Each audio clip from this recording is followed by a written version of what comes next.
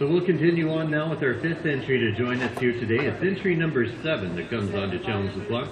Entry number seven is one Kamula. Kevin Babington's right is aboard his own entry to start us off. An entry out of Gwynedd Valley, Pennsylvania.